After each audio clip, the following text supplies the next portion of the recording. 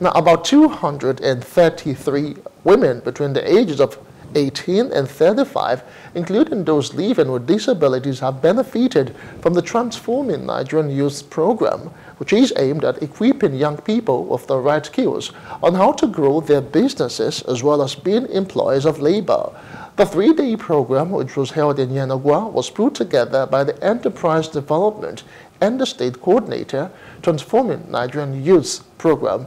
Now, Mrs. Esther Woni Mieye while speaking to newsmen informed that participants who scaled through the community learning stage after filling their growth plan and having met their quota will be paired with a business development service provider for online mentorship for a period of three months. She also said that during the mentorship session, participants are guided and recommendations will be made to the Enterprise Development Center for the most suitable incentive for each participant.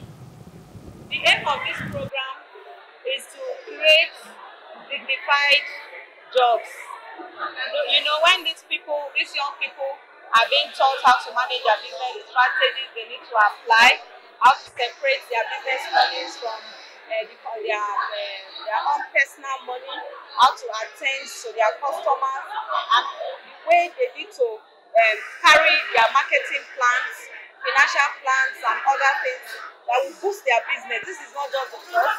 We've been doing the online store for um, the past four years, up 35 years. There are incentives. The incentives are uh, business name registration, trademark, um, website creation.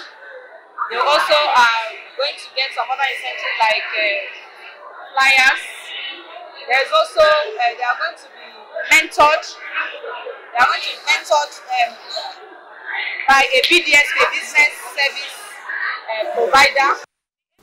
Hello. Hope you enjoyed the news. Please do subscribe to our YouTube channel and don't forget to hit the notification button so you get notified about fresh news updates.